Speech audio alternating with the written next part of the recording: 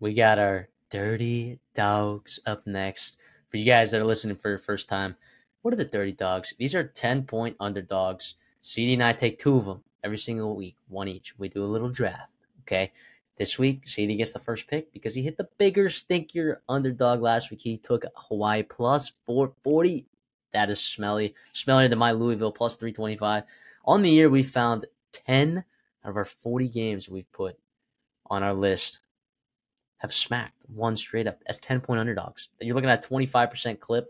If you were to follow our, our, our, you know, bets, just take them straight money line, which I don't recommend that you do. You know, these are pretty Hail Marys. And if you do, I mean, definitely lower your unit size, but you'd be up 9.3 units just to uh, kind of validate that, yeah, we've been, we've been hitting some stinky ones. All right. This is, if your team is on this list, you're a team that's, or sorry, I guess if you're a team that is playing a team on this list, you are in trouble.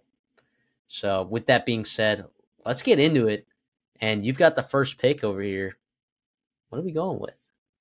Yeah, this one, speaking speaking of smelling, my team's going to be plus 24 point underdogs. Give me Mississippi State to go on the road in Neyland plus 1200. I've been talking about Tennessee as a team that to me has been severely overrated all year or really of recent in that top 10 there. Mississippi State and Michael Van Buren. That kid is a gamer. We've talked about him a couple times. You bet on them last week, and that cashed after a slow start against UMass. They're talented. And I think this team, in terms of what they can do offensively, can put Tennessee in problems where if they go down early, they can actually take advantage and beat Tennessee. We've seen Tennessee slow start after slow start after slow start. Going back to Oklahoma, right? A couple weeks, and Oklahoma did not have the offense to take advantage of that. Arkansas, they did, and they they kind of did, and their quarterback even got hurt, and they still went down and won the football game. Florida just did not get going, right? They could not take advantage. Alabama could not take advantage, and Kentucky could not either. I do think this is the week potentially. I love the plus twelve hundred juice there, and all that kind of, all that kind of value. Yeah, let's get Jeff Lebby's first conference win. Let's really send Tennessee back down a notch and kind of wide open things wide open in the SEC after this week because you've got Georgia and Ole Miss playing, because you got Alabama and LSU playing. There could be a lot of shakeup at the top of the SEC this week. I think Tennessee goes down. That would be nuts. That would be a crazy. That would be the smelliest dirty dog to date, and it can happen. I think Tennessee would have to not commit to running the football. Yes. Right. It, it, would, it would have to be one of those situations where Mississippi State gets up early and Tennessee sort of hits the panic button and Nico tries to do too much. And maybe they force a couple turnovers, which haven't done a great job. They're still they're actually winning the turnover margin uh, this year. Actually, scratch that minus one on turnover margin this year, which on the record you would have been like, oh well, you would have thought it might be worse. But yeah, Van Buren's been absolutely unreal since he's entered the lineup. I love him a lot, and uh, Kelly Akharaiyi being healthy, Kevin Coleman looking good, Johnnie Daniels, their running game hasn't looked crazy bad these last couple weeks. So, and they kind of shut down Texas A&M's run game for the most part when they played against each other a couple weeks ago. So, not crazy. Team that's playing better football week to week. I'm going to go over Georgia Tech plus 380. Already talked about them. Yeah, I kind of like it. You know, and this is very dependent on Haynes King playing. But if you're going to give me at plus 380, the reason that's at plus 380 is because Haynes King, it's very very, very questionable, right? I, I am not sure the reports look great right now for Haynes King in order to in order to play. At least last week, the updates that I saw a couple days ago, but they are coming off of a bye week. For all the reasons that we talked about before, Georgia Tech plus 380. I think they're a better coached team. They get them at home, and Miami's gotten off the slow starts. And if Georgia Tech gets up, and Tyler Santucci, who's done a really good job with Georgia Tech's defense this year, finds a way create some turnovers from Cam Ward and eliminates his hero ball in the fourth quarter, I think Georgia Tech can win this football game. That's awesome. That would be awesome. And talk about shaking up the ACC, that would do that as well. My next one here, going to the Big Ten here, going back to University Park there in State College. Give me Washington to go on the road and beat Penn State. That right now is a 13 and a half point line. It is plus 425 on the money line for Washington there. Here's the reasons why I like it. Right, Washington has struggled in games where teams have run the football on them. Right, and Penn State has struggled to run the football all year long.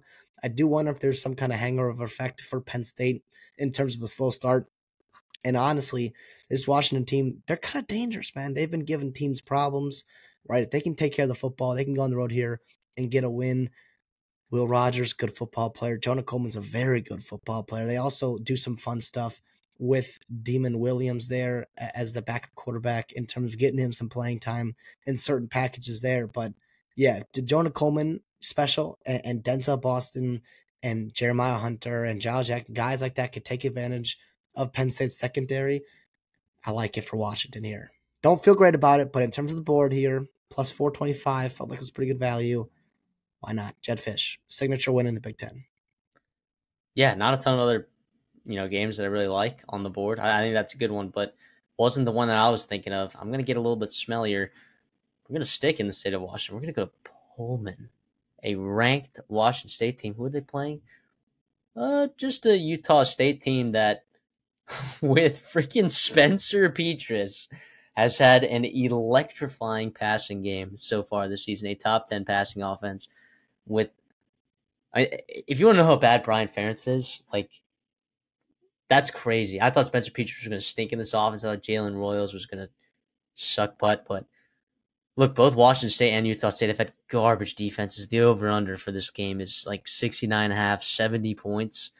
And you're going to tell me that Utah State, if you get them in a shootout for plus 850? I don't think it's crazy that Utah State could actually win this football game and Washington State's college football playoff hopes get completely shattered. I do like John Mateer. We love Jake Dickert on his show. By the way, hand up, probably one of the first people that was on him early, you know, was this show right here. But I do think that Utah State, given how explosive they are on their offense, there's a chance that they could do some stuff to gash that Washington State Cougars defense. So yeah, I'll take Utah State plus 850.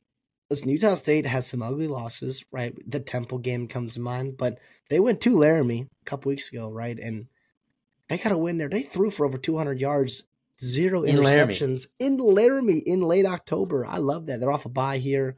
Why not Utah State also off a bye? Or I'm sorry, Washington State also off a bye. But damn it, man, why not? This would be super smelly. It would be awesome for the show. I yeah, that would be fantastic. And obviously, like we said, we love Jake Dickert. We love Washington State. We saw, we talked about them as a, a, legit chance to make the playoffs this year, and then they lost to Boise State, which was tough. But yeah, why not Spencer Petras, man? I would not have thought on the Dirty Dogs we would have been picking on Spencer Petras this year, but here we are, and he's been awesome. Year in the year 2024.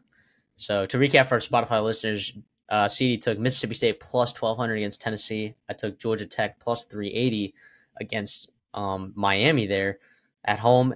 CD then took Washington plus 425 against Penn State on the road. And then I took Utah State plus 850 on the road in Pullman against Washington State. So stay tuned. Uh, see if these actually, if any of these actually hit, which some of them have.